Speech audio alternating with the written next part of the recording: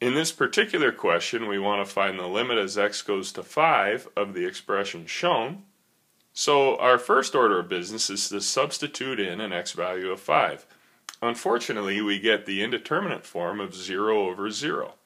So we need to somehow rationalize that denominator. And sometimes what people think that we should do is multiply by the cubed root of x plus 3 plus 2. We're not going to do that though because that works when you're taking a square root, not a cubed root. When taking a cubed root, we want to think of this as a difference of cubes situation. Well, recall the philosophy for difference of cubes. a cubed minus b cubed equals a minus b times a squared plus ab plus b squared. We want to think of that first factor as a minus b. That's like saying let a be the cubed root of x plus 3 and let b be 2.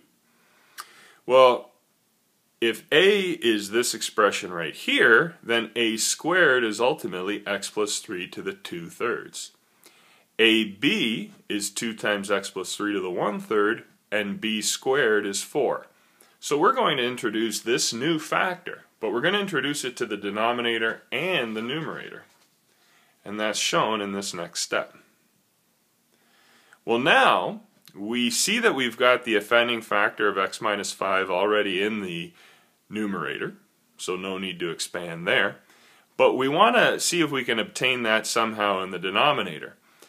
Multiplying the cubed root of x plus 3 times x plus 3 to the 2 thirds gives x plus 3 to the exponent 1.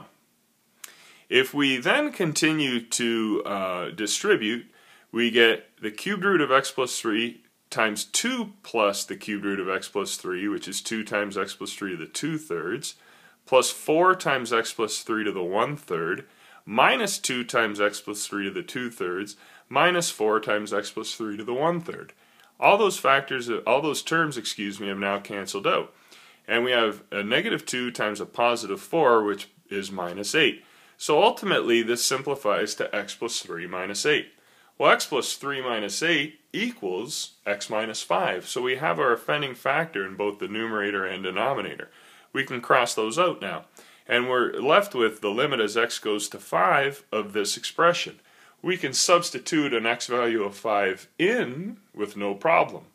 And doing that leads to our ultimate answer of 12.